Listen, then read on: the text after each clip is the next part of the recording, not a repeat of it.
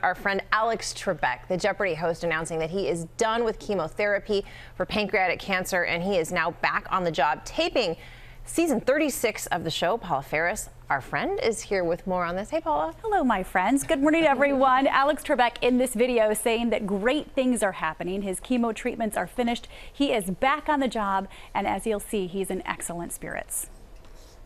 It's another day at the office for me and an exciting day because so many great things have been happening. Alex Trebek speaking directly to his Jeopardy fans about his battle with season. stage 4 pancreatic cancer in a new video released ahead of Jeopardy's 36th season, which is just weeks away. I've gone through a lot of chemotherapy and thankfully that is now over. I'm on the mend and that's all I can hope for right now. Overnight, the Jeopardy host sharing behind the scenes moments, including this one from his It's my birthday, as 79th you all birthday know. in July, have a cake. which he celebrated on set.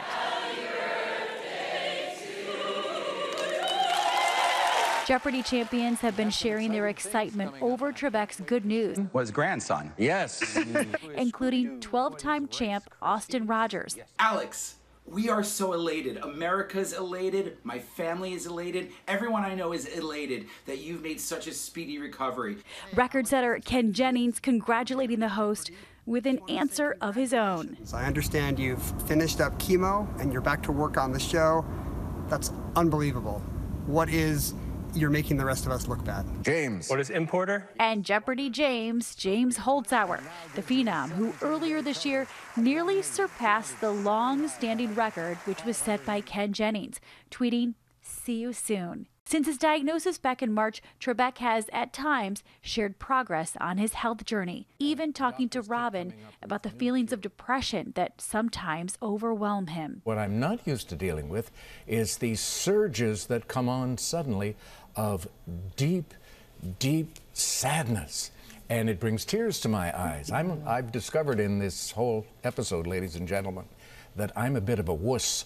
And, uh, but I'm fighting through it. Bless you for being so honest and talking about the bad as well as the good. Yeah, I mean, that's so helpful to do. Yeah, chemo affects people in different ways, and people have to understand that.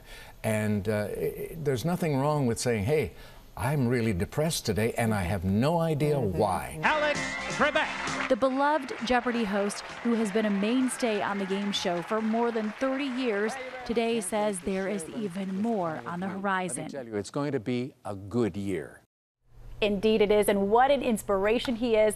Trebek, if you recall, he hosted 35 episodes after his cancer diagnosis. As for this new season, season 36, he's been filming since July. It premieres in September. So good to hear him say that. It's going to be a good He's got year. the right attitude. He really does. Positive thinking. Mm-hmm. Hi, everyone. George Stephanopoulos here. Thanks for checking out the ABC News YouTube channel. If you'd like to get more videos, show highlights, and watch live event coverage, click on the right over here to subscribe to our channel. And don't forget to download the ABC News app for breaking news alerts. Thanks for watching.